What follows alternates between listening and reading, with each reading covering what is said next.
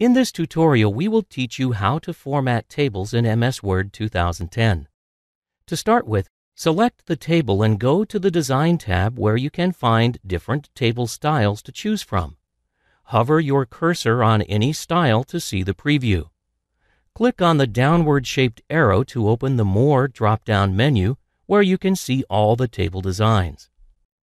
Click on the desired design to apply it to the table. You can add different color shades to the rows. After selecting the first row of the table, go to the Design tab and select any color from the Shading drop-down menu. Similarly, select multiple rows and color them in another shade.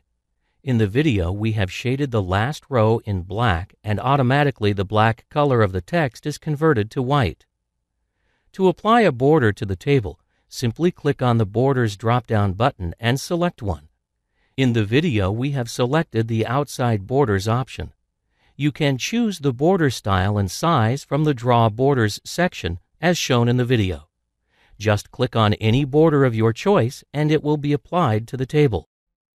A simple way to access all the border and shading options in one window is by clicking the Border drop-down button and then selecting the Borders and Shading option.